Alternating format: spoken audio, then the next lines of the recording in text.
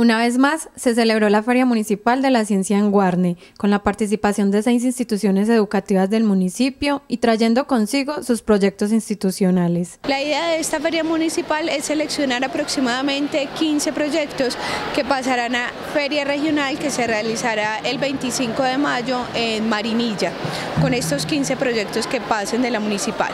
Si bien para la Administración y para la Secretaría de Educación es muy importante apoyar todo este tipo de eventos donde la la ciencia y la tecnología se hacen presente y aún más el espíritu investigador. En esta ocasión la feria contó con proyectos muy avanzados, logrando cumplir con uno de los objetivos de este evento, y es que los estudiantes puedan impactar con el conocimiento que adquieren en las aulas de clase. Esta Feria Municipal de la Ciencia, la Tecnología y la Innovación va más allá de un volcán, va más allá de un brazo hidráulico, va más allá de una demostración de principios.